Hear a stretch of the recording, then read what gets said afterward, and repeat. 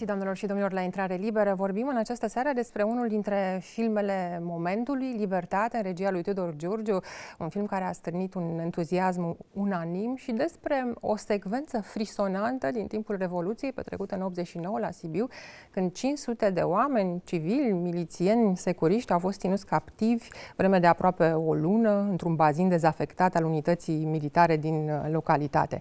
Ehm, e, într-adevăr, o dezbatere aici, pentru că episodul n-a fost elucidat. Tudor Giurgiu încearcă să pună cap la cap uh, versiunile foarte diferite uh, asupra ceea ce s-a întâmplat în acel moment, ca să ofere un tablou uh, onest sau cât mai onest. Mulțumesc uh, Tudor Giurgiu, mulțumesc uh, echipei care um, a putut să vină astă seară la noi în platou. Așadar, astă seară cu Tudor Giurgiu, cu uh, actorul Alex Calanciu, Calangiu, Calangiu uh, cu accent așa mai uh, grecesc pe final, uh, care e considerat, am văzut din, din reacții, o revelație actoricească a momentului, un debut. Mult titratul uh, Julian Postelnicu, bine cunoscut din uh, filmele ultimului, uh, ultimelor, uh, ultimilor ani, cu un premiu GOPO recent pentru oameni de treabă. Uh, domnul Florian Șperla, Florin. Florin Șperla, mă iertați, istoric militar, uh, ofițer. În 89 erați acolo, la Sibiu. Chiar în fața sediului Securității și Miliției. Începuse să răți uh, școala militară de ofițer. Era, nu? eram în anul întâi, da. Da. Și uh, via Zoom ni se alătură criticul de film uh, Victor Morozov, la un moment dat uh, și scenarista Cecilia Ștefănescu și vom vedea pe parcurs dacă vom mai putea culege și alte reacții, poate și Ioana Giurgiu, dacă producătoarea filmului, uh, dacă va putea interveni.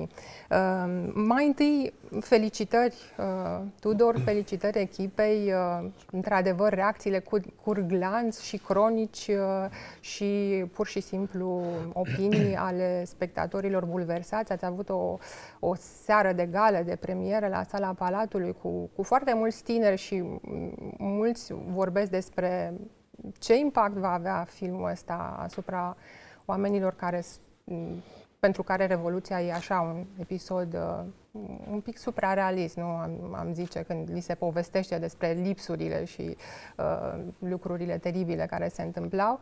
Uh, și aș mai zice un lucru la început, pentru că povestea, subiectul e tulburător. Cum, cum a fost posibil haosul a generalizat? Cum au putut muri atâția oameni? Dar uh, eu aș mai spune un lucru, că realizarea filmului execuția uh, impresionează la fel de mult. Adică nu e un, un film care te captivează prin uh, ineditul, să zicem, poveștii. E atât de, de, de bine spus această poveste, jocul actorilor, pe care tu, Tudor, am văzut în toate interviurile uh, uh, îl scoți în evidență și oamenii, evident, spectatorii l-au, l-au remarcat. Apoi, scenariul foarte alert și, și foarte nuanțat. E un film cu eroi negativi, cu milițieni și securiști, dar până la urmă privirea e în, în adâncul naturii umane, să-i vezi cu rău și cu bine și să ajungi la un moment dat să, să empatizezi chiar cu eroul principal, cu capitanul de, de miliție. Tudor. Ai spus tot, nu mai am mai nimic de zis. Să ne legăm de, de cuvântul ăla pe care l-am spus la început, onest, un tablou cât mai, mai onest și de, uh, nu știu, precauțiile tale uh, în, în realizarea filmului care a presupus o documentare uh, complicată. Lucrurile alea s-au întâmplat cu adevărat, filmul e ficțiune, dar ceva uh, um, onest și, și respectos trebuie să, uh, să Da, eu n-aș zice neapărat precauții, erau frici. Erau frici și temeri pentru că la început când am intrat în proiect uh, știam un pic despre subiect, uh, era atât de copleșitor ce se întâmplase și sigur că am încercat să citesc cât mai mult, să înțeleg, dar la un anume moment al documentării și n-a fost imediat, am avut un sentiment ăsta foarte uh, apăsător de frică și de temere că responsabilitatea pe care o am eu, ceilalți colegi, în a, în a spune povestea asta, încercând să înțeleg toate fațetele situației și încercând să înțeleg pe toți cei care au luat parte la ea, soldați tineri, ofițeri, milițieni, securiști, civili, mulți civili nimeriți din întâmplare, deci toată, am, am înțeles târziu că răspunderea e mare și că riscul, eu știu, căderii e, e, e maxim, adică, de exemplu, la început am citit, sigur, am parcurs multe surse tipărite, câteva cărți scrise pe subiect, m-am întâlnit cu oamenii din bazin, milițieni și securiști în bună măsură, și eram, cum să spun, foarte, foarte marcat de fapt de, de drama lor și de problema respectivă, dar la un anume moment uh, m-am întâlnit și cu domnul Șperlea și cumva perspectiva lui m-a ajutat și mi-a deschis o nouă, uh, o, mi-a, mi-a făcut și mai grea misia pe care, pentru că mi-a, des, asta atunci. mi-a descris ce s-a întâmplat cu soldații, pentru că mi-am dat seama atunci că e foarte ușor știi, câteodată judecăm așa fără să înțelegem de fapt întreaga și mi-am dat seama ce s-a întâmplat cu sufletul și cu mintea acestor copii de 18 ani, 19 ani, care erau de-abia intrați în școală, sentimentul ăla de frică, sentimentul de, de, de erau nedormiți, nemâncați, primeau ordine total haotice.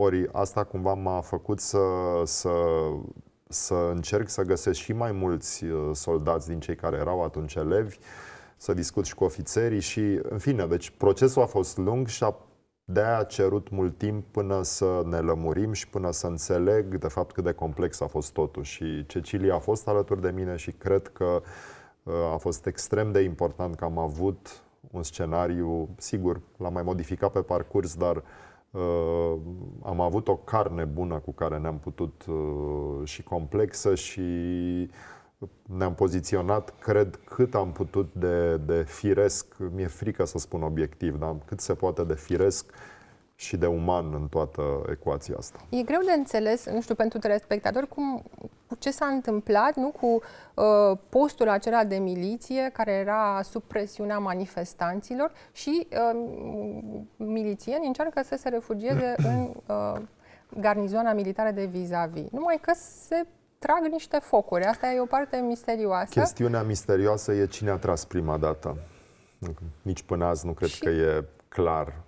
Pentru că întotdeauna, în urma acestui foc, moare un soldat. Un soldat tânăr și înțeleg foarte iubit de și popular în rândul colegilor. Ori ă, asta provoacă un șoc psihologic și evident asta înfierbântă pe toată lumea și evident apoi, sigur, se întâmplă acest fapt bizar cu oamenii ăștia care vor să se salveze, sar gardul unității militare, iar cei de vis-a-vis pe fondul ăsta de frică, de teamă, de convingere că vin teroriștii să ne atace, pentru că deja chestiunea asta circula, uh, i-au împușcat. Și este un carnagiu, se omoară între ei uh, securiști, milițieni cu soldați pur și simplu. Haideți să vedem o secvență. Am, am pregătit să simțim ceva din atmosfera, din vibe-ul filmului. Stimați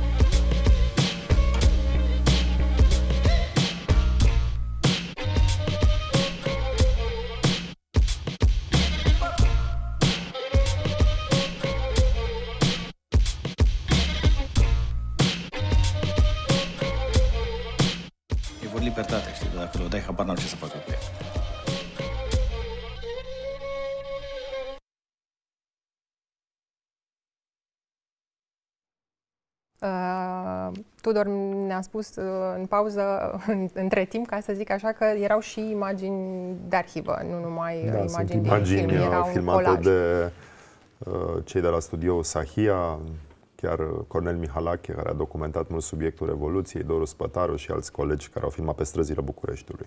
Și e ceva de spus aici despre aerul de document, dar uh, neinserând, nu că se putea, nu, putea fi o, o, un procedeu filmic, am înțeleg că se, va, se face la Moromeții uh, 3, uh, acea, acela de a insera imagini de arhivă, da, n-a fost cazul aici. N-am vrut să facem, n-am vrut să inserăm imagini de arhivă, să ne filmul să stea pe picioarele lui fără, fără apelul la astfel de imagini, dar e interesant, mergând acum prin țară cu filmul, cei tineri când îl văd și văd asta din reacțiile lor de după film când stăm la povești, uh, se uită în mod paradoxal ca la un uh, document, special prima jumătate de oră, care e foarte alertă, dinamică, se uită ca la un uh, probabil cum ne uitam noi la Revoluție pe vremuri, adică li se pare mm. un, un, un documentar, li se pare că e ceva atât de alert și uh, îi, îi nu au încă în cap uh, dezvoltarea unei ficțiuni, uh,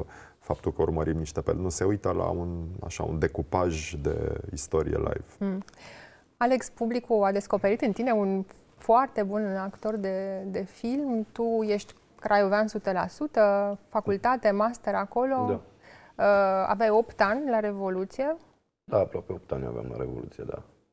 Și filmările au fost mai târziu. Au, nu, filmările de data asta au fost grele sau uh, pentru că te-ai întâlnit cu o echipă și aici evident e de, de vorbit cum, cum s-a petrecut uh, um, această ordonare, să zicem, a, a unei echipe foarte numeroase, peste 100 de actori.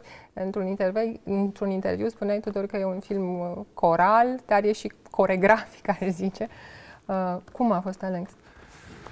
Cum a fost pentru mine să fiu acolo. Da, și okay. re, re, văzând acest episod, nu, istoric și metabolizându-l într-un fel, nu? Da, eu de la Revoluție, n-am, sigur că mi-aduc ceva, ceva aminte, dar nu a avut nicio legătură cu filmul. Adică am adus, pentru că eu la Revoluție, exact cum spuneai tu, aveam 8 ani. Viorel e un bărbat de peste 35 de ani. Așa că n-am, nu pot să spun ce am trăit și ce m-a inspirat pe mine pentru Viorel. Uh, cum a fost? A fost foarte frumos și foarte, foarte greu a fost. Pentru că s-a filmat în timpul uh, pandemiei și cumva nu vreau să întrerup uh, zilele de filmare, mai ales din cauza mea, mai ales că eram debutant, știi, și exista o presiune pe mine. Și atunci uh, mi-era teamă cumva să nu, na, să nu greșesc, știi. Și mi-aduc aminte, la un moment dat era o secvență unde trebuia să bem cu toții apă, știi și în pandemie COVID eram 150 de oameni acolo. Și efectiv cu vedeai cu vina aia spre tine așa te gândeai, am pierdut, am ieșit, arată, mă locuiește. Știi? Adică... A trecut și, glonțul, n-a trecut. Da, și Na, dar pe de altă parte a fost extrem de frumos. Adică nu, nu doream să continue filmul ăsta, nu știu, până în ziua de astăzi. Ce, ce cucerește și ce transmiți tu e o, o anumită concentrare, nu? Chipul lui, uh, care e Păi frică de pandemie, nu glumesc.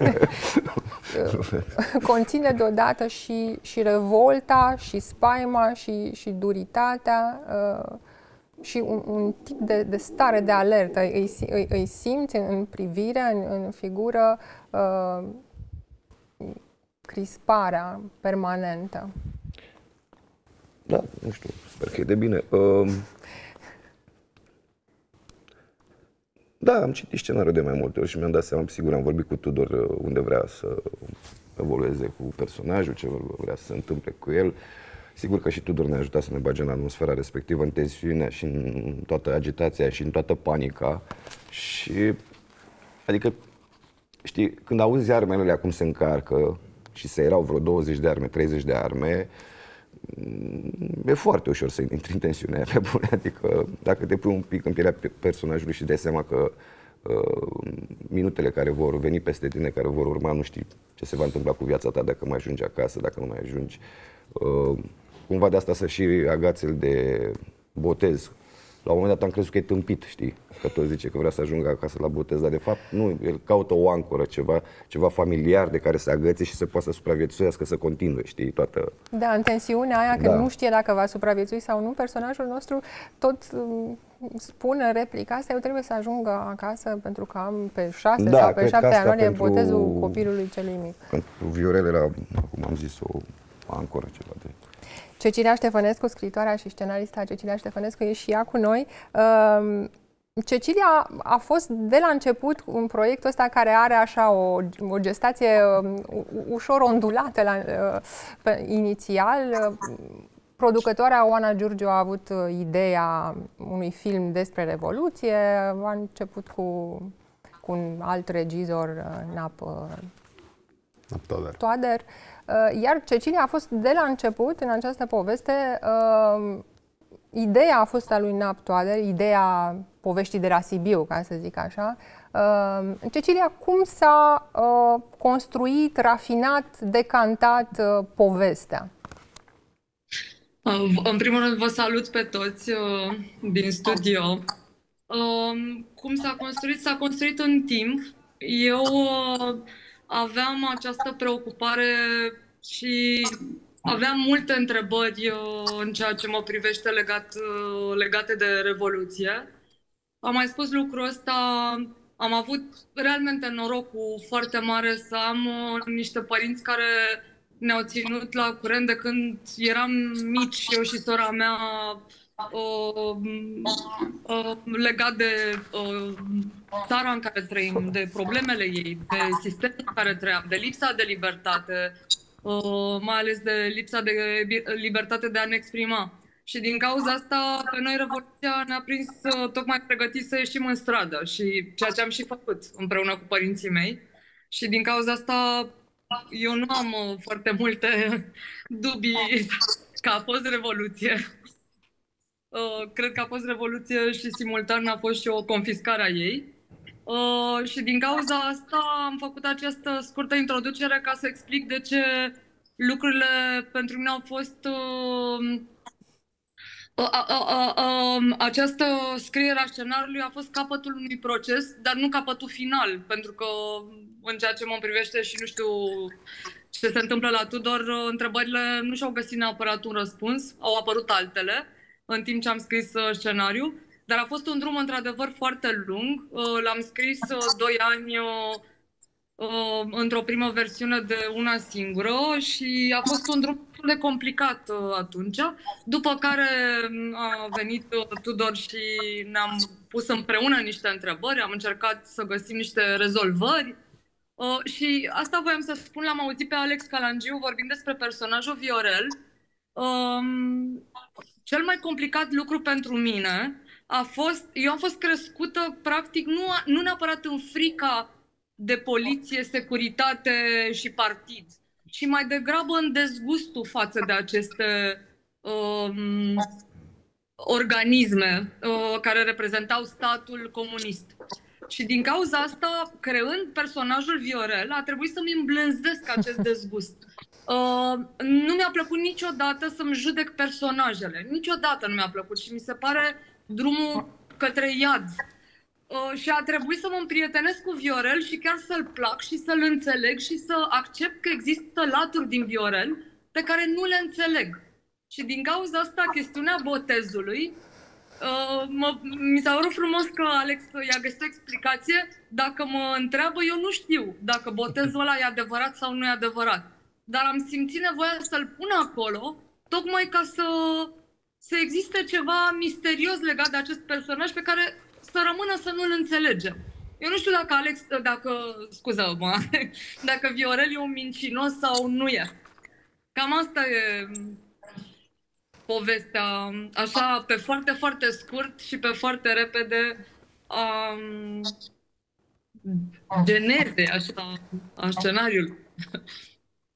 Uh, da, Alex uh, ajunge în acel bazin, ajunge prizonier uh, după ce fusese un brav ofițer de miliție care, cum zice el, se ocupa de hoți. Sau, brav, nu știu dacă a fost. În fine, adică cu ghilimele. Ca brav. Bine, poate că nebunia lui se întoarce acolo la unitate când, de fapt, într-adevăr, putea să stea acasă bine mersi și scăpa de toată teroarea asta și tot chinul ăsta. Că, într-adevăr, îl întreabă la un moment dat, de ce te-ai întors ca să apăr unitatea. Și, um, da, Ioral nu este un erou de Hollywood, este un om simplu care ajunge într-o situație pe care încearcă cât de cât să o gestioneze, să supraviețuiască. Iulian, tu joci acolo comandantul de garnizoană, Dragoman, Dragomir. Da. Mm, Uh, ai preluat ceva din uh, tonul ăla răstit al cadrelor, parcă chiar al lui Ceaușescu, nu? Ni le, ni le aminteam din uh, înregistrările de pe vremuri, de la telejurnal, nu? Și sacadarea aceea rostirii, nu? Și, și gesturile. Mm-hmm. Da, s-a întâmplat uh, în mod natural. N-am urmărit lucrul ăsta. Uh, cred că la casting cumva am simțit că e bine, adică Tudor a părut mulțumit de castingul pe care l-am dat și cred că am reținut chestia asta, nu mi-am propus-o în mod conștient. Să rostesc într-un anume fel, să gesticulez într-un anume fel. Nu am urmărit nici uh, discursul lui Ceaușescu, dar poate că undeva în memoria, în toți există, în toți există un Ceaușescu și amintirea lui. Toți cei care l-am prins cumva vorbind. Și vocea fără inflexiune, așa, și, și spartă și nenaturală în, în, în, până la urmă, nu? Dar dacă te apuci să țipi, să urli unei mulțimi de oameni, parcă nici nu mai ai loc de nuanțe, adică nu știu cum ar veni nuanțat. Strigi și gesticulezi să fii văzut, uh, strigi să fii auzit, cred că vine natural. Bănuiesc. Eroul nostru, eroul tău, uh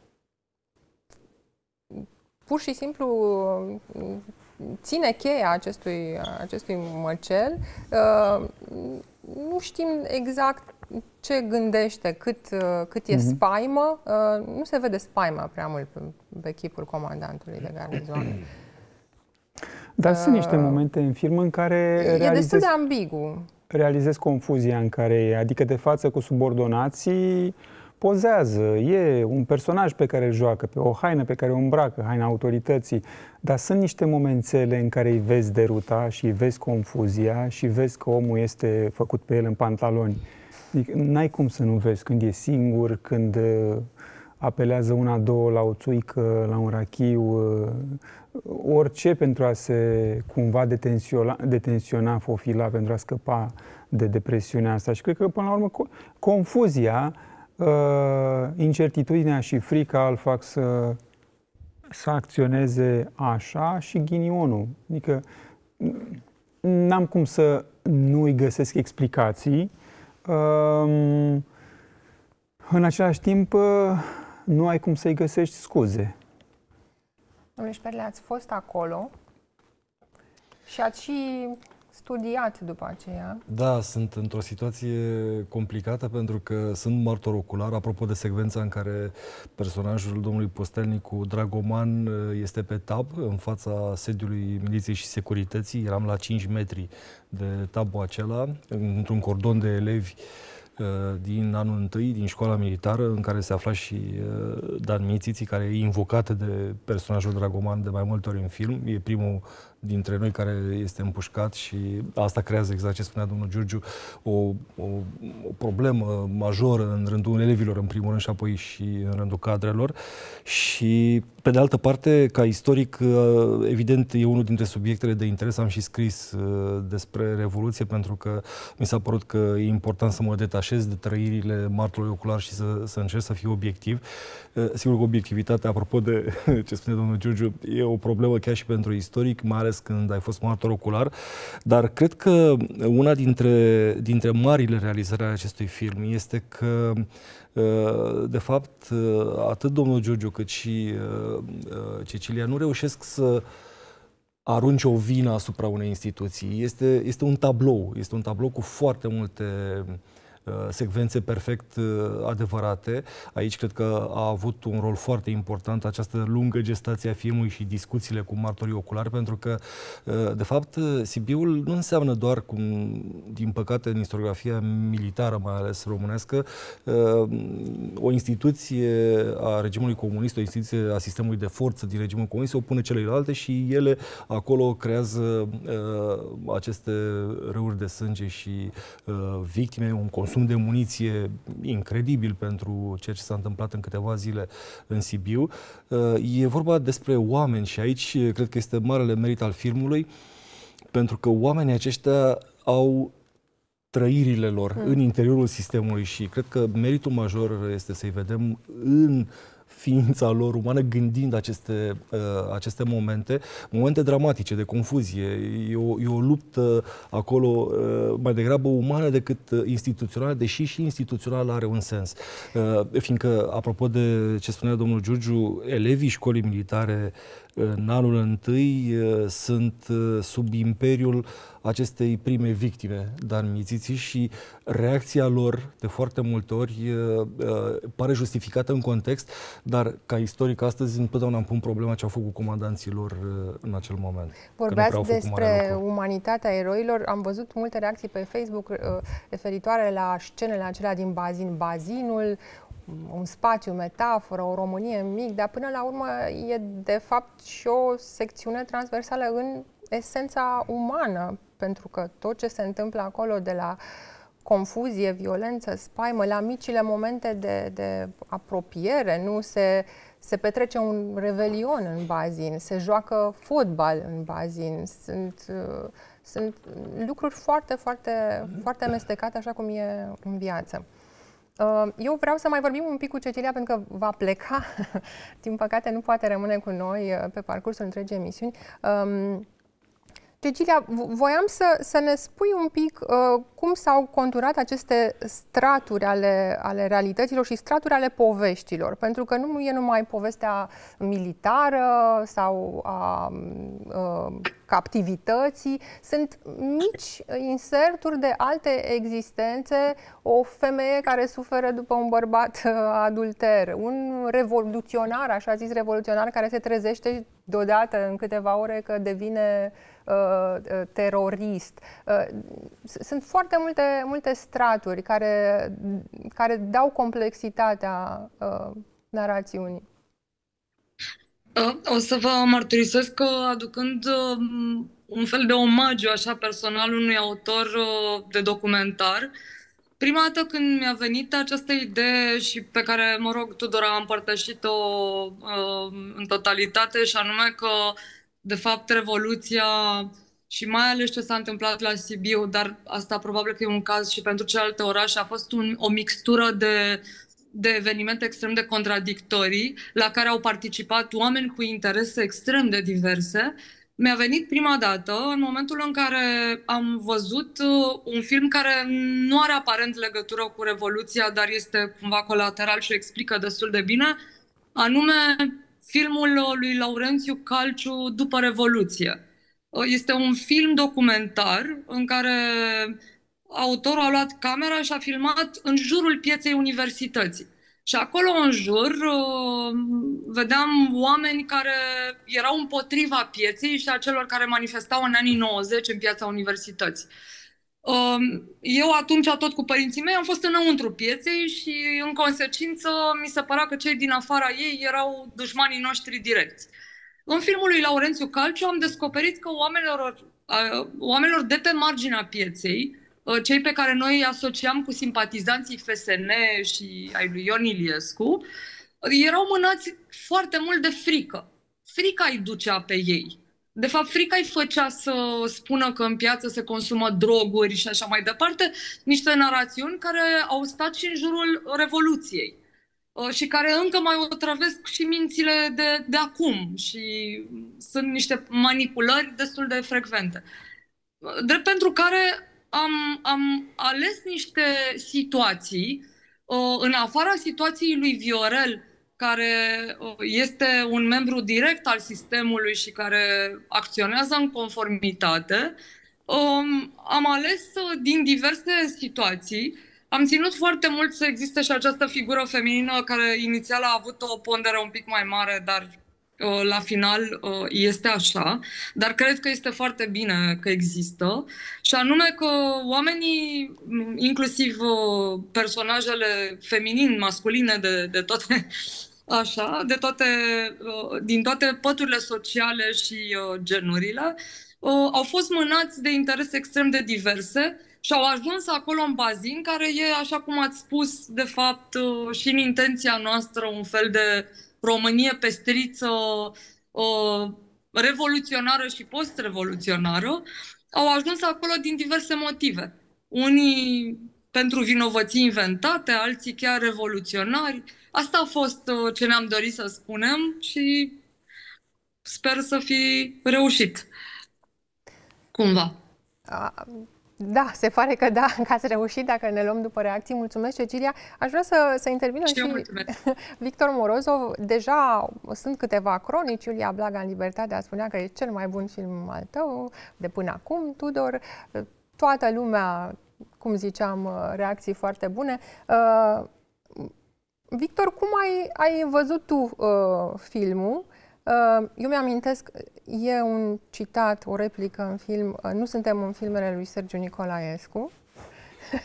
Uh, lumea se mai gândește la un alt film pe tema Revoluției a lui Radu Muntean, cât ea va fi albastră. Victor.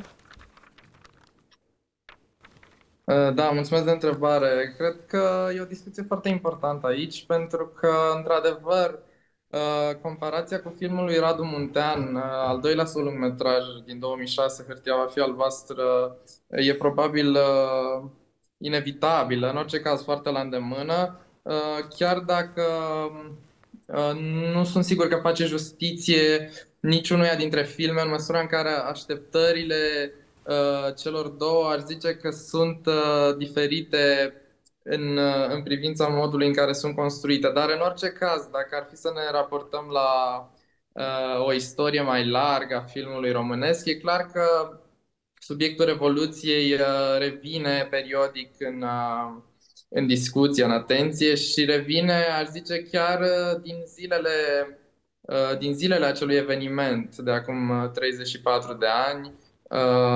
Dacă e să ne gândim la două documentare foarte importante Uh, Timișoara, decembrie 89, a lui Ovidiu Bose Paștina și videograme dintr-o revoluție coregizat de Harun Farochi și Andrei Ujica, care rămâne fără doar și poate ar zice cel mai important film despre Revoluția Română care s-a făcut până acum. Uh, după care, treptat, pe măsură ce anii trec și probabil că uh, informația este Uh, și șocul evenimentelor uh, devin, ajung să fie asimilate, în orice caz, mai bine digerate, uh, subiectul trece către ficțiune și e interesant că își păstrează longevitatea, o longevitate improbabilă dintr-un anumit punct de vedere, în măsura în care Revoluția pare în rândul generațiilor să se estompeze, dar iată că nu. Și dacă e să ne gândim și la un film mai recent de scurtmetraj care a fost foarte Um, premiat pe la diverse festivaluri și apreciat în, uh, în, în cercurile cinefile, anume cadoul de Crăciun al lui Bogdan Mureșanu. Revoluția figura și acolo ca fundal al unei povești ceva mai comice, semn că există din ce în ce mai multe tentative de, și de diversificare a unghiurilor din care povestea Revoluției uh, poate fi spusă uh, pentru un public uh, mai nișat sau, sau mai larg.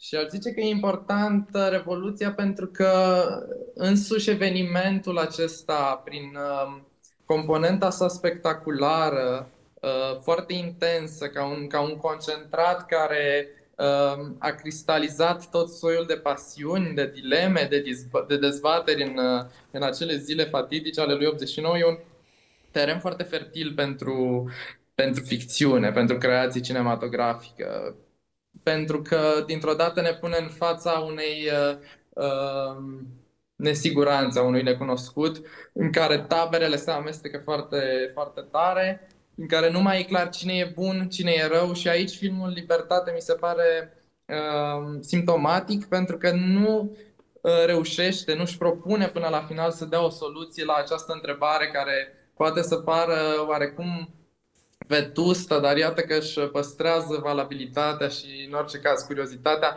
de cine a tras, cine e primul, de unde a pornit și prin amestecul acesta de, de, de pături, de grupuri sociale, de categorii uh, profesionale care sunt chemate în acest bazin, um, dovedește faptul că Revoluția a fost un, uh, un eveniment foarte complex și cum spunea de pildă Mihai Ovanel, criticul literar în uh, a sa uh, istoria literaturii române contemporane pe care a publicat-o acum câțiva ani, e remarcabil că la trei decenii și mai bine de la Revoluție nu există încă o teorie standard asupra evenimentelor.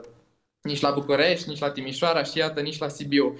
Așa că între adepții unor extreme sau ale altora, de la teoria loviturii de stat la acea revoluție pure, trecând prin cea hibridității dintre o lovitură de stat și o revoluție pe bune, ca să preiau din uh, categoriile Ruxandrei Cesereanu, um, nu e neapărat obligatoriu de ales, pentru că pentru cinema tocmai această uh, indecidabilitate, să zicem, tocmai această lipsă de răspunsuri ferme poate să, să fie un, uh, un teren cât se poate de palpitant pentru creație. Mulțumesc, Victor. Uh, Tudor, totuși filmul tău are un, are un miez uh, uh, revoltat și, uh, și acut. Până la urmă vorbim despre un episod uh, care e neelucidat.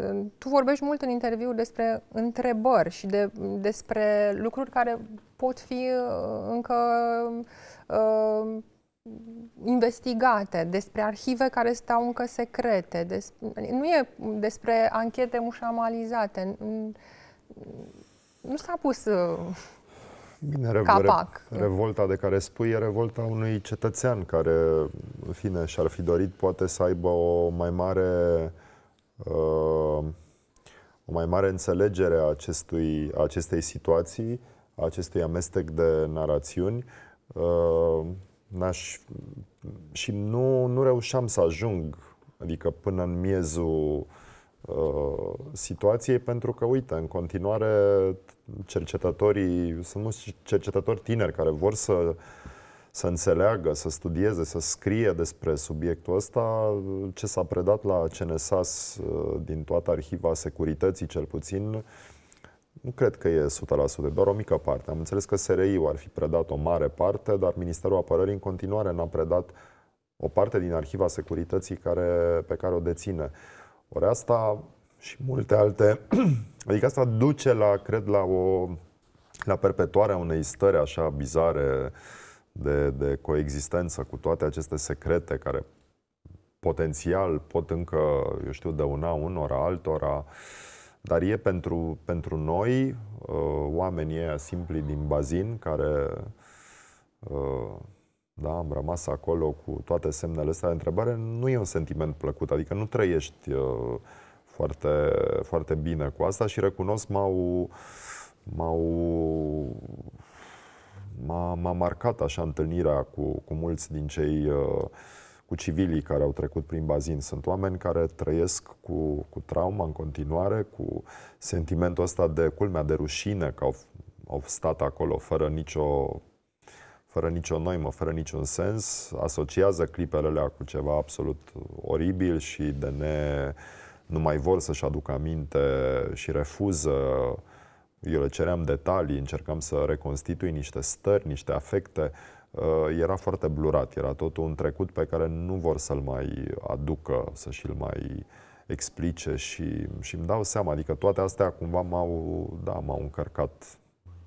Și din partea comandantului garnizonei ai, ai vorbit și cu el. De fapt, ai vorbit cu, cu toată lumea cu care a putut fi contactată. Da, aproape. Cu, Fotografi, cu, martori. Cu colonelul uh, Dragomir am, am stat de vorbă și mă, mă bucur că a m-a primit, nu, nu mă așteptam. El trăiește destul de retras, e pensionar în Sibiu și am încercat să leg un dialog, până la urmă a fost mai mult un monolog, dar a fost foarte interesant să, să văd cumva perspectiva lui asupra evenimentelor și sigur că am încercam să, să găsesc în el un om destul de tânăr. Câți ani avea el când conducea? 34 sau cam așa? 40, undeva în zona 40. asta. Era un, om, era un ofițer foarte tânăr pentru o garnizoană care fusese condusă de un general, iar el a venit aici, comandantul școlii militare cu gradul de major.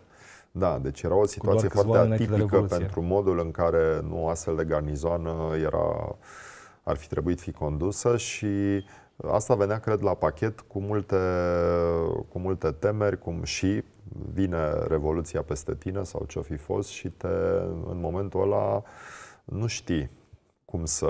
El tot timpul îmi spunea, cine îmi dă mie lecții de cum ar fi trebuit de fapt să mă compor și cum nu înțelege că era război și uh, oricât învățăm despre cum trebuie să stea lucrurile într-un război, în realitate lucrurile se, se întâmplă altfel. Și el își găsește argumente, de fapt, asta e foarte interesant pentru modul în care noi oamenii trăim cu toate cu lucrurile astea de care fie nu suntem mândri, fie încercăm să trăim, nu ne confruntăm trecutul, de fapt.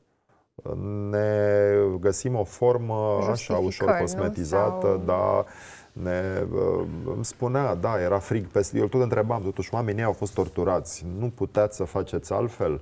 Uh, nu știam cine sunt.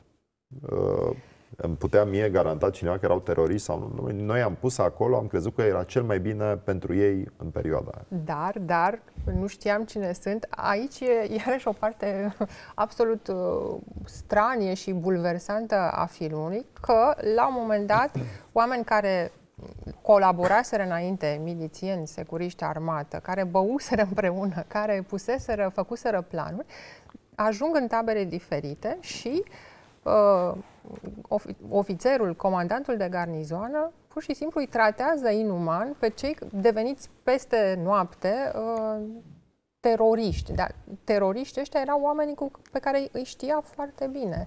Și deveniți teroriști și inamici în tabere diferite, dar cunoscându-i, îi tratează uh, inuman. E foarte ușor și fiind surprins uh, procesul ăsta de dezumanizare, cât de ușor se poate derapa.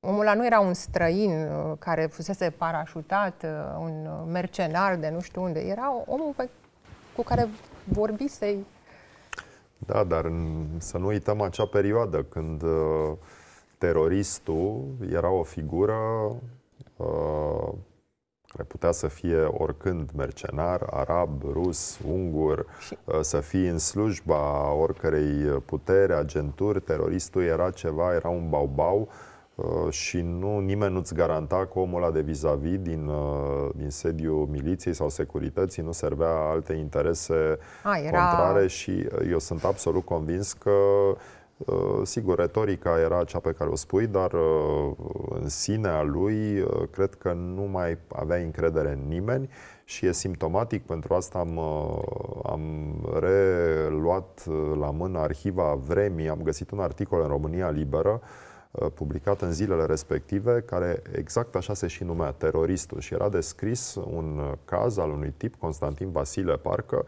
uh, parcă era o descriere a unui personaj din seria, nu știu, Cyborg sau Universal Soldier, pentru că era un personaj drogat cu substanțe care, deși era legat la mâini, sărea în sus, făcea, vorbea, bolborosea, era Uh, și am încercat să dau de urma acelui jurnalist care a scris textul respectiv. Jurnalistul nu exista, era fic- numele era fictiv. Nimeni din redacția României Libere nu-și mai aduce aminte mm. din cei care mai trăiesc de personaj și de textul ăsta. Am încercat să dau de urma soldatului uh, la, în comuna în care, teoretic, uh, de, de unde se trage nimeni nu exista cu numele ăla. Deci cred că undeva Uh, a existat și tipul ăsta de, de inducere în, uh, nu, în, în mentalul colectiv a acestui uh, supraom care, care de fapt teroriza populația întreagă. Iulian, Alex, voi ați fost și, n-am spus că filmul a luat un premiu la Sarajevo, un premiu important care îi asigură nu, o distribuție în cinematografele de artă internaționale. Pentru noi, filmul e foarte emoționant. Uh, mă întreb cum, cu ce distanță sau cu ce interes îl, uh, îl privește publicul din, din afară. Cum, cum a fost la Sarajevo? Cum, cum au fost reacțiile? Și cum ați primit voi până acum reacțiile? Păi, foarte bune reacțiile, mai ales uh, și pentru mine e surprinzătoare reacția celor mai tineri care uh, iau mesajul ăsta al filmului, povestea lui, uh, într-o formă foarte proaspătă, foarte activă. Uh, și reacționează foarte bine la, la, la el. E, până la urmă, un film de acțiune, dacă îl desprinzi de, de istoria asta locală, națională. Uh, iar la Sarajevo, ca la Sarajevo, foarte frumos. o atmosferă foarte prietenoasă. Festivalul de acolo e foarte cald, e fierbinte chiar. uh, da. Dar cu ce ochi au văzut ei filmul? Pulburi. bun, bun. nu. Uh, da, uh, bănuiesc, n-am, n-am stat să discut mm. cu, cu oameni de acolo despre felul în care uh, experiența lor îi apropie sau uh, se, cum se simte apropiați uh, de, de film, tocmai prin ce, prin ce au trăit. Sarajevo fiind uh, atâta vreme în centrul unui asediu. Um, altfel, uh, cred că uh, pentru cineva care a trăit un moment de așa confuzie, uh, e mai ușor de înțeles decât uh, din afară. Um, de ce oamenii uh, din povestea asta se comportă așa cum se comportă. De confuzie societală, ca să zic așa, de, da, de, de mulțimi care intră aici. într-un soi de, de isterie. De, de... Da, dar să știi că la, a fost cumva tot așa extrem de, de de evident că reacțiile cele mai directe la Sarajevo, cel puțin, au venit din partea unor oameni care au, au trăit pe viu tipul ăsta de conflict bosniaci, uh, din Georgia, erau polonezi, adică oameni cumva care au traversat situații mai mult sau mai puțin asemănătoare, dar care le înțeleg. Două lucruri vreau să adaug și eu, apropo de discuția legată de teroriști, pentru că noi avem dificultăți, spunea foarte corect uh, domnul Giurgiu, în a avea acces la unele documente și la arhive. De pildă, noi nu știm nici astăzi foarte exact ce a însemnat și ce este rețeaua AIR, pentru că o parte din acești teroriști, n-am niciun fel de îndoială, sunt de asociat cu rețeaua AIR, o rețea care era de fapt gândită de, uh, de Nicolae Ceaușescu după 1968 pentru a preveni o posibilă schimbare a conducerii politice, cum se întâmplă întâmplase în Ceoslovacia în urma invaziei uh, sovietice. Un fel deci, de comando, de Da, un fel de, exact, fel de... structuri, uh, structuri pe, pe, pe modelul unei gherile uh, mm. urbane sau gherilă generală care urma să acționeze în, în eventualitatea unei invazii sovietice și a unei schimbări a conducerii. Asta pe de-o parte. Iar pe de altă parte, mă gândeam, vedeți, încercând să am această distanță față de evenimente, dar mă pun în locul elevului care fusese fusese numit să ducă o marmidă, cu, marmida era, uh, să explic telespectatorilor, o, un fel de un recipient. Un recipient în care se păstra mâncarea, mâncarea caldă, da. exact. Uh, și mi-aduc aminte că, deci primisem acest ordin, acum sigur după Revoluție, iată puteam să spun că nu îndeplinesc ordinul, ar fi fost greu înainte de 89, dar acum puteam spune, e bine, eu nu mă duc să duc mâncare uh, acestora care l-au omorât pe mițiții. Adică uh, reacția elevului atunci pare perfect justificată. Astăzi istoricul din mine se întreabă cum putea gândi elevul acela de atunci în acești termeni. Oamenii erau într-un arest în care aveau niște drepturi și trebuiau asigurate, mai ales uh, cele fundamentale, cum e cazul hranei. Dar mintea mea spunea, nu, nu, ei n-au voie să mănânce. Adică încrâncenarea asta o înțeleg, uh, o decriptez astăzi, dar îmi dau seama că trebuia să fie avut niște comandanți care să-mi fi spus, tu înțelegi greșit acest lucru și trebuie să faci ceea ce spun. Oamenii aceia trebuie hrăniți, oamenii aceia trebuie să aibă condițiile minime de detenție. E bine, asta, asta e o lecție, într-un fel, și prin filmul domnului Giurgiu. Uh, pentru cei de astăzi, eu sper să nu se mai întâmple vreodată așa ceva, dar dacă se întâmplă, măcar filmul ăsta este o lecție și o mărturie bună. Oana Giurgiu s-a conectat cu noi, nu poate rămâne mult. Uh, mulțumesc, Oana. Și îți mulțumim pentru ideea filmului. Cât de greu, cât de grea a fost producția? A fost destul de grea producția filmului pentru că nu, a fost foarte greu. Uh, în primul rând, ar fi fost un film greu și în condiții normale, nu în condițiile în care noi filmam uh, în mijlocul valului Omicron, uh, în care aproape toată lumea era bolnavă de COVID și în condițiile în care noi aveam foarte mulți oameni în aceeași incintă, în condițiile în care la jumătatea filmului a început uh, războiul în Ucraina, noi filmam în unități militare și foloseam armament pe străzi, mă rog, nu, nu real, dar până la urmă comportându-se ca un, un uh, uh, echipament normal. Deci uh, n-a fost foarte simplu. Uh, tu însă... N-a fost foarte simplu nici pentru actori, n-a fost pentru, foarte simplu nici pentru noi, însă well, a ieșit ceva bun din, din munca noastră. A, ai fost tenace cu, cu ideea asta, tu însă ești regizoare de, de film uh, documentar. Uh, cum, cum ai, ai văzut tu creșterea uh, acestui proiect, care n-a fost simplă?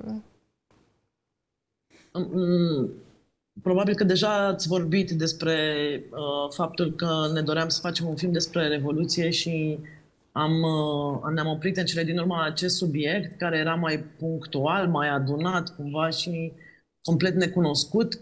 Uh, eu am spus că pentru mine, cel puțin, ceea ce se întâmpla în bazin mi se părea că ilustrează ce s-a întâmplat în România în momentul acela, în lunile care au urmat uh, lui decembrie 89. M-am bucurat foarte tare că și-au luat cumva foarte în serios treaba asta și au acționat ca niște documentariști, uh, atât Cecilia cât și Tudor și au uh, reușit să întâlnească oameni și să treacă dincolo de informațiile, să zicem, superficiale pe care le-au găsit în primele, în primele uh, cărți pe care le-au citit. Cred că e foarte important să... E, e foarte important să nu te îndepărtezi foarte tare de poveste pentru că sau mă rog, de realitatea istorică, pentru că ai o responsabilitate față de public și mai ales față de publicul tânăr. Mm, am avut feedback-ul ăsta de la, de la public pentru ei, e ca o lecție de istorie. Da, așa este. Uh, eu aș fi vrut în continuare să, să mai devoalăm un pic din, din culise, pentru că a, a fost o muncă um, cu actorii, să, să-i, să-i numim și să, să vorbim un pic de filmările alea petrecute la, la Brăila, nu la Sibiu. S-a filmat ceva la Sibiu? Am filmat și la Sibiu, evident, niște exterioare, pentru că trebuia să localizăm filmul pentru cei care știu Sibiu, chit că el nu mai seamănă astăzi deloc cu locul ăla care era atunci, dar uh, am găsit la Brăila deopotriva bazinul și niște străzi uh, cu piatră cubică asemănătoare străzii care era atunci, uh, unde erau sediile instituțiilor principale din, din film. Și uh, da, acum dificultățile au fost uh, multiple, dar recunosc că odată spațiile găsite, Uh, chestiunea coregrafiei scenelor de, de luptă și a înțelegerii, uh, să spun, a felului în care personajele, de fapt, uh, reacționează într-un, într-un, în, în niște secvențe cu multă lume, asta mi-au dat bătăi de cap, pentru că una e să scrii în scenariu lucrul ăsta și apoi, când ajungi să, să lucrezi, îți spuneam de bazin, uh, Uh,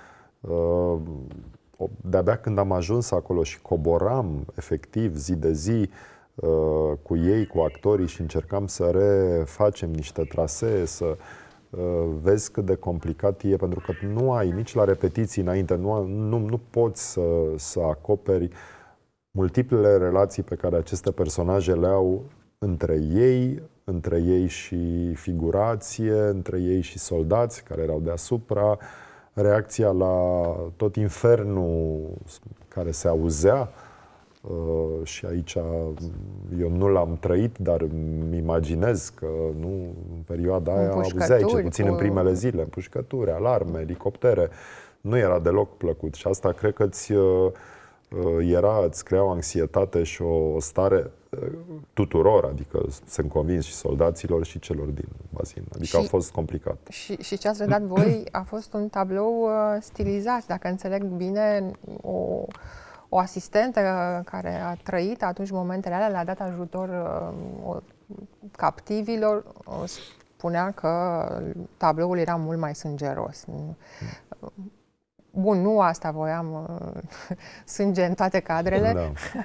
Probabil că ar fi deturnat un pic povestea. Uh, dar e bine de știut, așa ca să ne imaginăm sau să ne facem o idee despre ce s-a întâmplat. Uh, Alex, personajul tău e fictiv, nu? A trebuit da. compus da. din niște lucruri. Uh, uh, ce fel de lucruri? Te-a ajutat experiența cu Radu Afri? Mai, ai lucrat mult la Craiova cu el? Uh, um, o anumită, un anumit tip de pregătire, nu știu, din zona teatrului? Nu, nu, nu are legătură asta cu nimic cu ce am făcut eu în teatru până acum m-a ajutat, uh, da. Un tip de exercițiu al, al concentrării. Hmm? Vorbesc serios, că am fost alergat, nu am, uh, am alergat cât uh, alergă domnul Postelnicu de aici. Dar... Iuliana alergă în fiecare zi câți kilometri? 20 sau? Nu, 15. 15. Acum 17. Acum 17, da.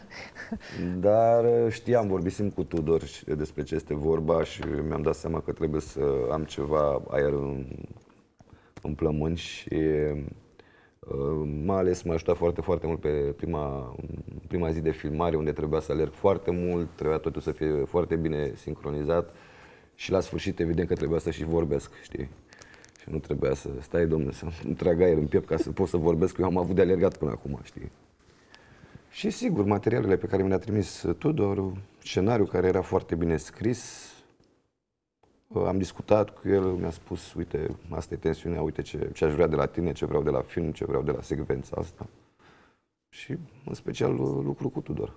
Și toată floarea cea vestită a, a actorimii române e acolo, în roluri în fine, mici, esențializate, or, oricum ne-am bucurat să-i revedem Uh, pe ecran, pe Andy Vasluianu, cred că o să uit unele nume, Mirela Oprișor, Marius Manole, Costel Cașcaval, Toma Cuzin, care face rolul ăla absolut uh, uh teribil al tatălui. Nu, cred că se știe povestea, aceea chiar se știa, familia... Da, familia Chircă. Chircă. Uh, această familie care a încercat să, spăimântată, să, să părăsească Sibiul și la un baraj al forțelor revoluționare, tatăl s-a uh, s-a speriat și în loc să apese pe, pe da. frâna, a, a apăsat accelerația și au fost ciuruiți, copilul a murit, părinții au fost uh, uh, răniți, iar Toma uh, Cuzin e pur și simplu o imagine, e ca o pieta, ca să zic așa, dar fără uh, Crist, uh, o imagine a durerii. Face un rol tulburător. Da, cumva m-am, uh, știam că nu toți actorii vor putea să aibă evoluția pe care o are personajul lui sau altora care stau în bazin multă vreme, dar eram foarte, știam odată ce închisesem cu Cecilia lucrul la scenariu că existau niște, adică aveam niște scene puternice și era nevoie de actori cu experiență, actori care să poată transmite uh, cumul ăsta de sentimente, de emoții și Sigur, cu unii m-am bucurat să lucrez, uh, e cazul Mirelei, care mi se pare o actriță extraordinară, am urmărit-o și în film și în teatru, dar n-am avut șansa să, să lucrăm împreună. Uh, l-am descoperit pe Leonid Doni, care, uh, știi, lumea îl asociază câteodată fals, mi se pare, cu un personaj lejer care face entertainment într-un serial celebru de televiziune, dar uh, Uh, el e un, e un om atât de stăpân pe mijloacele lui și sigur a avut de jucat tot un milițian, dar uh, e, e extrem de, de versatil și uh, a fost o mare bucurie cumva să ne, să ne cunoaștem. Și nu doar cu el, cu mulți alții, adică Cred că e un mix interesant de, de nume, cum spui, confirmate, nume deja Doamna Cocia și iarăși într-un... Ce e interesant e că ei au câteva momente, nu știu, un minut, două, cât e, dar îi, îi, îi ții minte pe toți și de fapt e o umanitate în mic, îmi ții minte fiecare figură.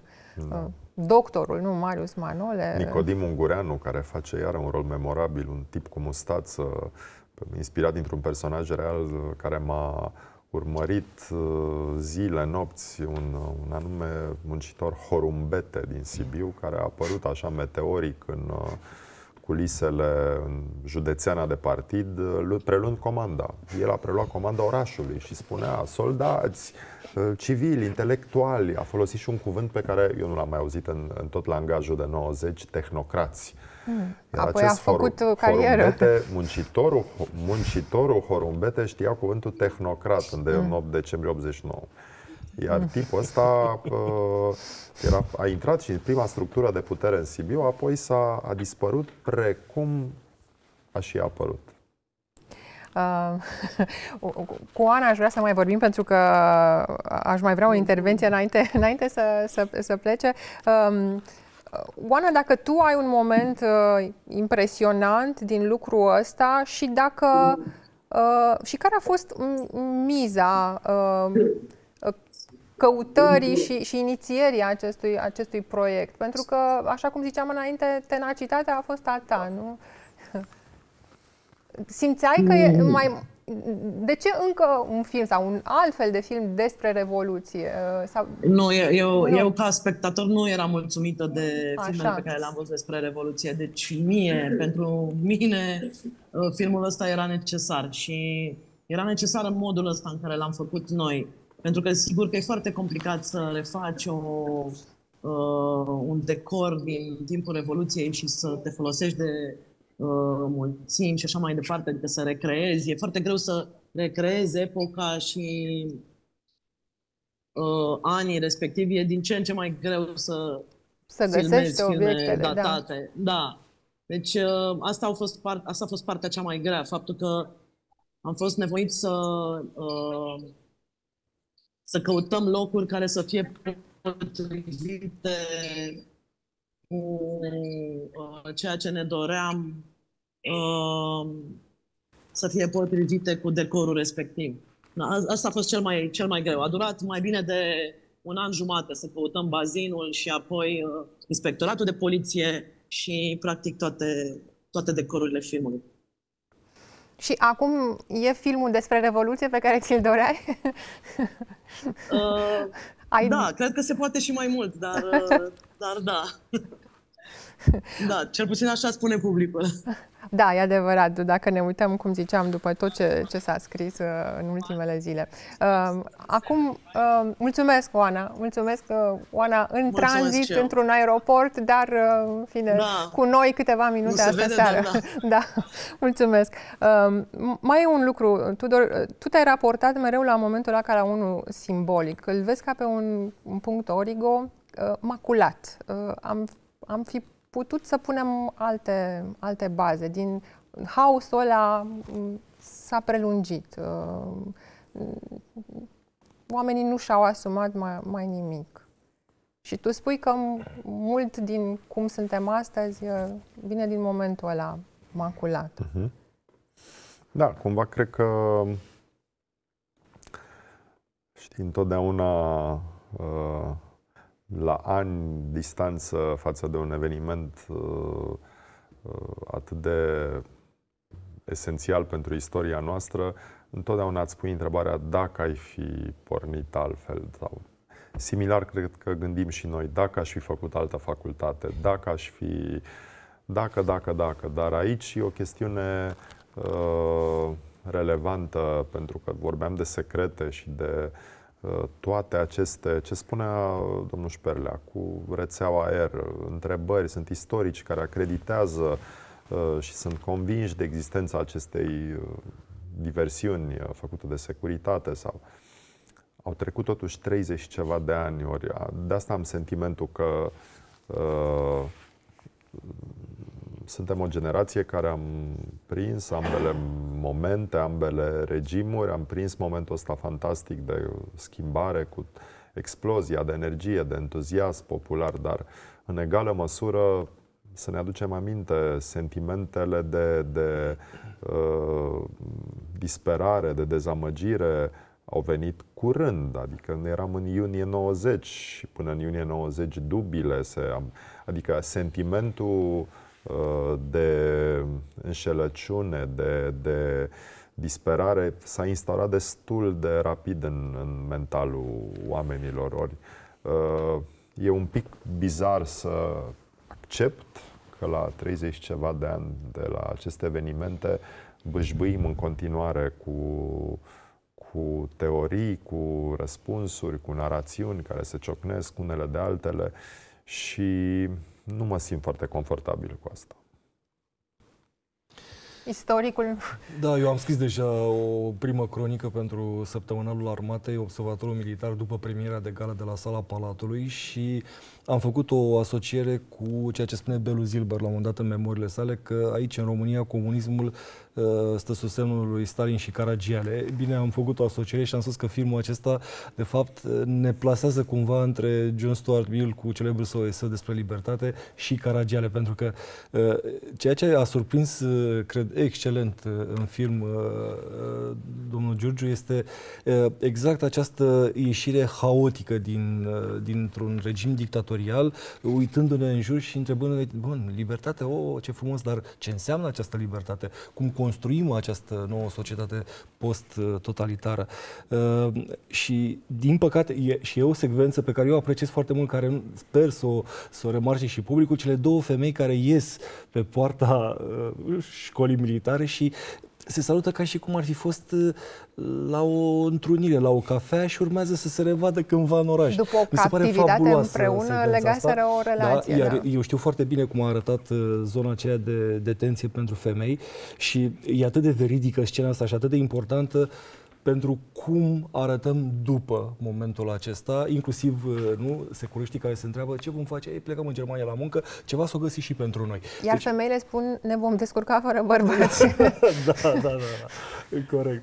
Uh, excelentă secvența aceea și uh, de-aia mi se pare, uh, și cu asta închid, fabulos acest film prin aceste mici secvențe, care unele sunt, repet, admirabile și prin jocul unor mari actori, dar care configurează cumva această Românie post-decembrie 89. Aia este România din, din filmul... Vă completez mm. pentru mine secvența esențială și mă bucur că am filmat-o și din nou șapo și mulțumiri cameramanului amator care a filmat prin Sibiu așa ceva, pentru că de la el am, am, am luat-o și am transcris literele replicile unor sibieni care stăteau la un zid în fața căruia era uh, scrisă de mână uh, un, era scris un manifest ce nevoie are poporul român după Revoluție. Iar ei dezbăteau, era o agora nu, în care uh, puteam în fine să vorbim și, să, și spuneau să plece stratulat, stratulat fiind un, uh,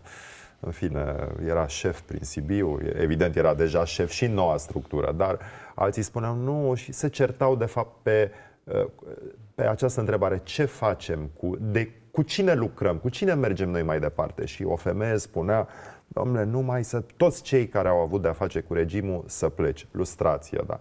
Și un cetățean spune, Uh, dar totuși, cei care n-au făcut atât de mult rău, de ce nu poate să, de ce nu-i putem păstra? E, am păstrat, din păcate, prea mulți din cei care n-au făcut rău și ne-am uh, cumva nu mai, uh, nu mai scăpăm de asta. Și mai e o scenă importantă, finalul, Alex. Uh,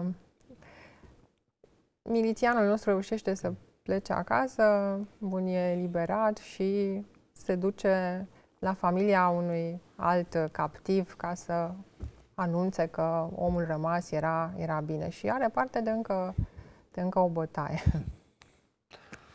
Da. Uh, pentru că eroul nostru e, e un om cu în, în multe nuanțe de gri. E un om care a bătut și el, e un om care nu e...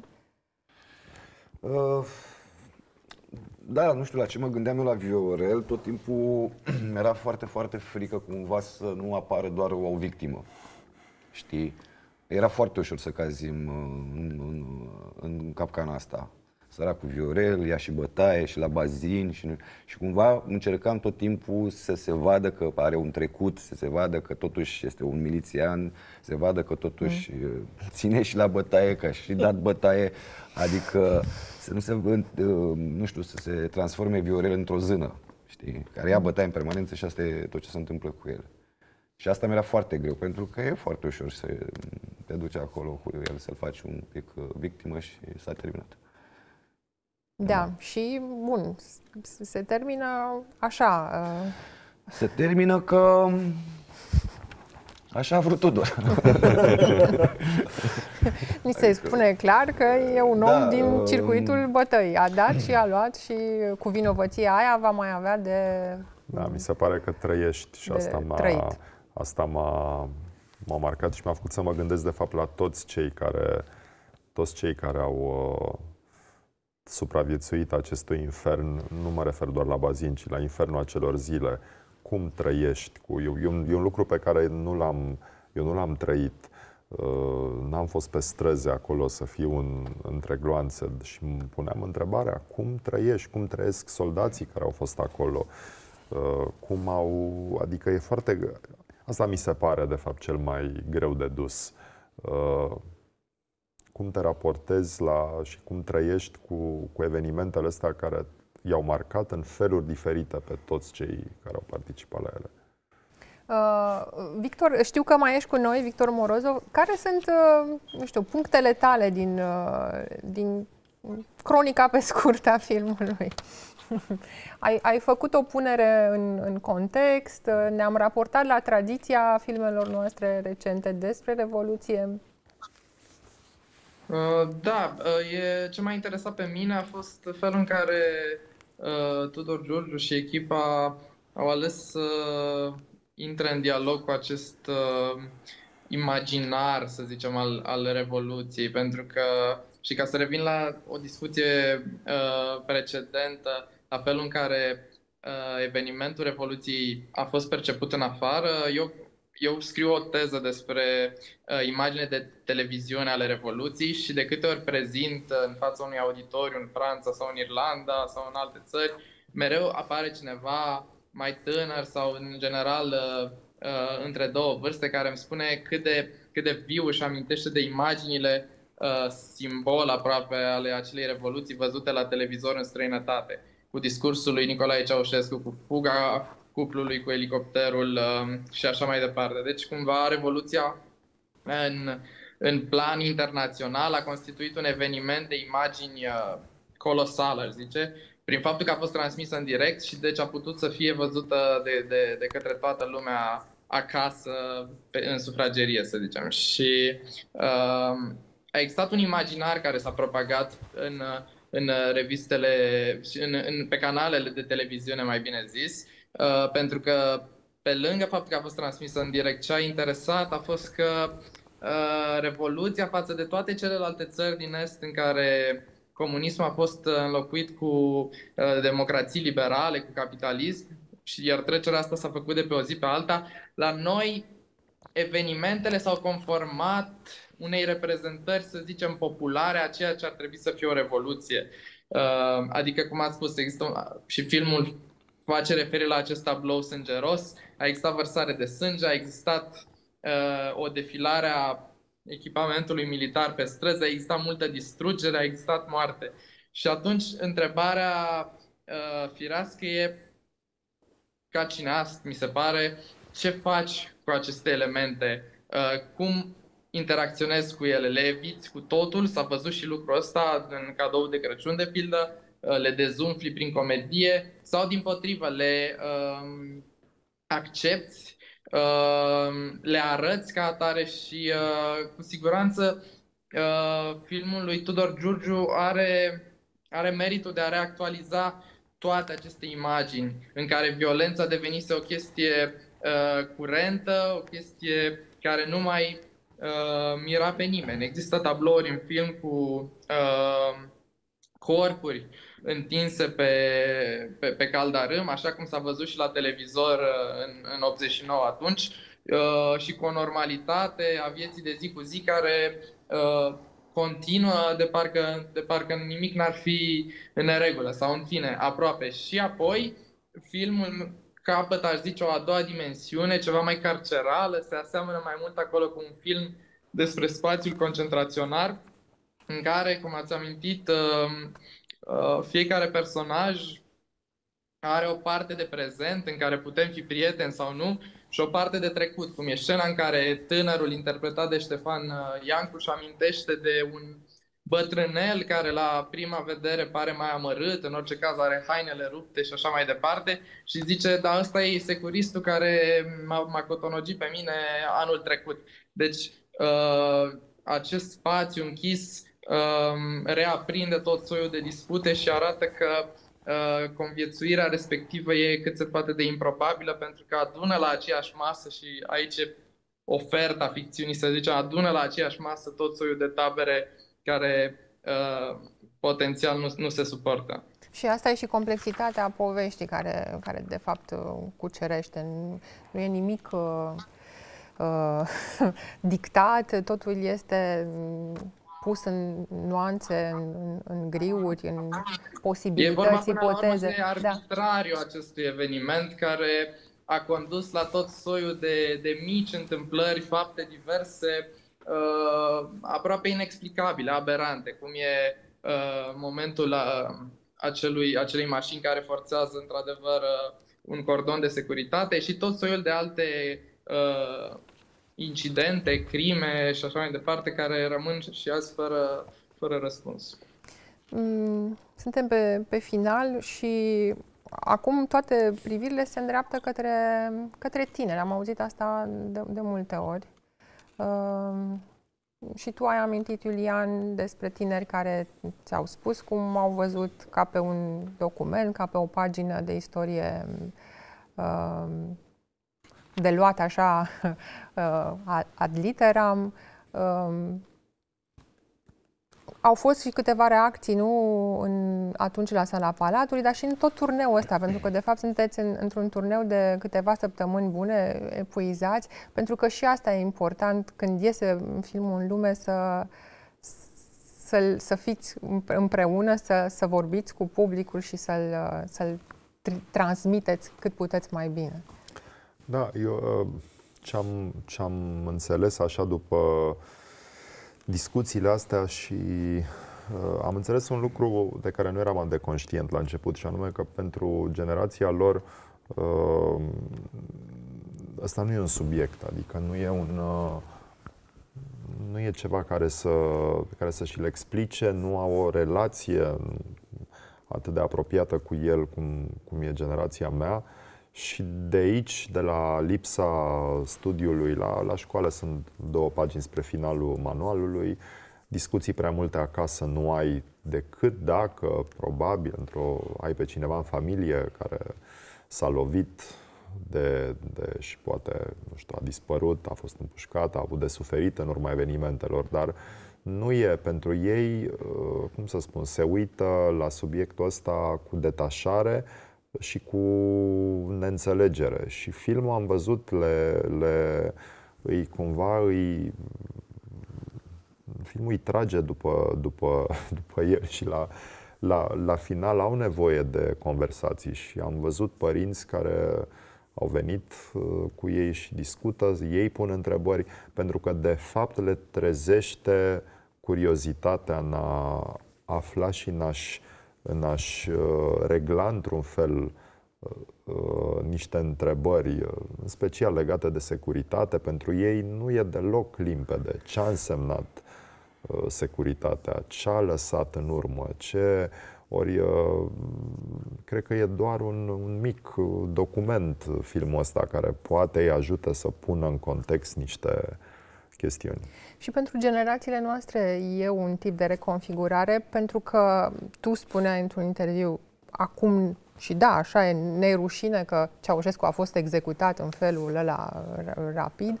Acum ne uităm ciudat, așa cum se uită și tinerii la scenele alea suprarealiste, sunt câteva în film. Oamenii se băteau și pentru gumă de mestecat, da. uh, parfum, uh, săpunuri de străine sau sticle de uh, alcool străin și deveneau um, corpuri delicte și cum, cum, să, cum să fii, nu știu, luat pe sus pentru niște pachete de gumă de mestecat. Da, atât de suprarealist și kafkian era momentul ăla și fusese anii ăia. Da. E, pentru mine e în continuare un, uh, cu cât uh, cumva mă bucur că am terminat filmul și că m-am putut detașa, dar în egală măsură revăzând câteodată imagini și m-am trecut din nou prin documentare, e cumva te, mă încarcă de fiecare dată uh, așa când, când privesc sau când și mi se pare că erau câteva momente de grație, așa dacă te uiți doar la, la figurile de pe stradă și la ce povestea și Victor de documentarele amintite de, de uh, filmul lui Ujică și de filmul lui Laurențiu Calciu, ai acolo un, un, un tablou incredibil al unei Românii care ieșise din întuneric și cumva încerca să, să, să-și găsească busola și busola asta a dat rateuri Vă mulțumesc. Vă mulțumesc pentru discuția asta și uh, invit pe toți telespectatorii să meargă să vadă filmul care din 6 octombrie e în cinematografele din toată țara. Numai bine! thank you